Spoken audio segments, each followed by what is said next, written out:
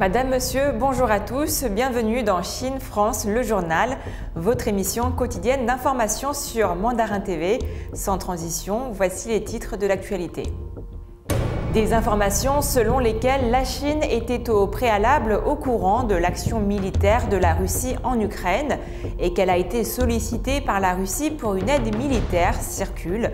L'ambassadeur chinois aux États-Unis a rejeté fermement ces allégations. La Chine a battu un record d'exportation en 2021, grâce notamment aux exportations de matériel médical et de bureautique. L'acteur chinois Dong Lun condamné à une amende de 15,9 millions d'euros pour évasion fiscale. L'ambassadeur de Chine aux États-Unis, Qin Gang, a rejeté les allégations selon lesquelles la Chine avait une connaissance préalable de l'action militaire de la Russie en Ukraine dans un article publié dans le Washington Post. L'ambassadeur a également contesté les affirmations selon lesquelles la Russie cherchait à obtenir une aide militaire de la Chine, soulignant que ces informations étaient de pure désinformation et ne servaient qu'à rejeter la faute sur la Chine et à la salir. Qingang a indiqué qu'il y avait plus de 6000 citoyens chinois en Ukraine et que la Chine était le plus grand partenaire commercial de la Russie et de l'Ukraine. Le conflit n'avantage pas Pékin. L'ambassadeur chinois a déclaré également que la Chine était attachée à une politique étrangère indépendante de paix. Concernant l'Ukraine, la position de la Chine est objective et impartiale. La charte des Nations Unies doit être observée, la souveraineté et l'intégrité territoriale de tous les pays, y compris celle de l'Ukraine, doivent être respectées et les préoccupations légitimes de tous les pays en matière de sécurité doivent être prises au sérieux. 2021 a été une année record pour la Chine, l'un des premiers pays touchés par la crise sanitaire. La Chine a rebondi grâce aux exportations, notamment de matériel médical et de bureautique.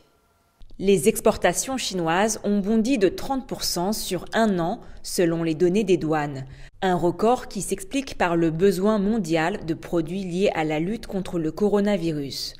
Selon les statistiques douanières, la valeur totale des importations et des exportations du commerce de marchandises de la Chine était de 39,1 trillions de yuan, soit 5,65 000 milliards d'euros, ce qui représente une augmentation de 21,4% par rapport à 2020, annonce Li Kuiwen, porte-parole de l'administration générale des douanes.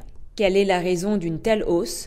Le besoin de masques chirurgicaux et de matériel pour le travail à domicile des pays étrangers tels que des ordinateurs. Le variant Omicron et les fêtes de Noël dans les pays occidentaux sont considérés comme deux facteurs majeurs de cette augmentation. De leur côté, les importations ont également augmenté de 30,1% sur l'année 2021, un phénomène qui tend malgré tout à s'estomper comme le prouvent les chiffres du mois de décembre, plus 27,6% contre une augmentation de 31,7% en novembre. Concernant l'excédent commercial chinois de 2021, ce dernier a atteint 676,4 milliards de dollars, soit 590 milliards d'euros.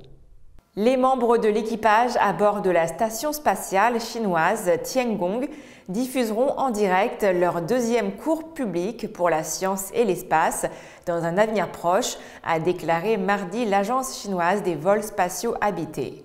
Les astronautes chinois transmettront de nouvelles connaissances aux jeunes étudiants sur Terre, le contenu étant basé en partie sur les demandes et suggestions du public.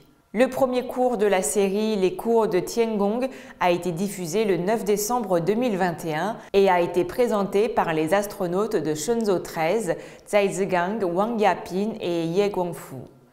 Les cours donnés depuis la station spatiale visent à encourager les jeunes à développer leur intérêt pour les vols spatiaux habités et l'exploration spatiale. Les autorités fiscales de Shanghai ont annoncé le 15 mars que l'acteur chinois Dong Lun a été sanctionné pour fraude fiscale et condamné à une amende de 106 millions de yuan, soit environ 15,9 millions d'euros. L'affaire le concernant a été initialement découverte grâce à l'analyse de mégadonnées fiscales. L'acteur, âgé de 30 ans et qui compte plus de 40 millions d'abonnés sur la plateforme de médias sociaux chinois Sina Weibo, a ensuite publié une déclaration dans laquelle il présente ses excuses. J'ai profondément réfléchi sur moi-même, je suis prêt à assumer toutes les responsabilités et conséquences, a-t-il écrit. Parallèlement, les comptes personnels de l'acteur sur Weibo et Douyin, la plateforme chinoise de vidéos courtes, ainsi que les comptes de son studio ont ensuite été suspendus. De son côté, l'administration fiscale de Shanghai a déclaré dans un rapport que les autorités avaient procédé à des rappels et des exhortations en direction de Tonglun au cours de l'enquête, mais que son travail de rectification était toujours resté insuffisant. Les autorités ont ensuite lancé une inspection fiscale complète et approfondie sur l'affaire.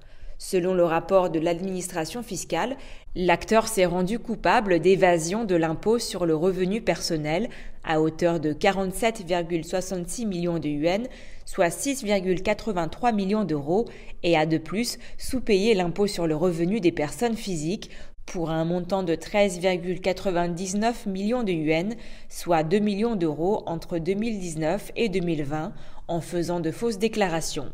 Le rapport indique toutefois que l'acteur a activement coopéré dans le cadre de l'inspection et a pris l'initiative de rembourser de lui-même 44,55 millions de yuan, soit 6,38 millions d'euros de taxes, tout en signalant activement d'autres actes illégaux liés à la fiscalité qui n'avaient pas été découverts. Finalement, un total de 106 millions de yuan, soit 15,19 millions d'euros d'impôts, de frais de retard et d'amendes ont été imposés à l'acteur. La nouvelle est devenue le sujet le plus tendance sur Sina Weibo dans les 30 minutes qui ont suivi la publication du rapport, accumulant 460 millions de vues. Réagissant immédiatement, les sociétés Viomi Technologies et L'Oréal ont annoncé qu'elles mettaient fin à leur partenariat avec l'acteur. L'administration fiscale a pour sa part déclaré qu'elle continuerait à renforcer l'application de la réglementation fiscale dans l'industrie du divertissement et à mener une enquête conjointe sur les sociétés de courtage, les courtiers et les intermédiaires qui ont aidé l'acteur dans son évasion fiscale. C'est la fin de votre émission. Merci à tous de l'avoir suivi. N'oubliez pas de vous abonner à la chaîne YouTube de Mandarin TV et pensez également à activer la petite clochette de notification pour ne rien rater. Très belle journée ou très belle soirée à tous.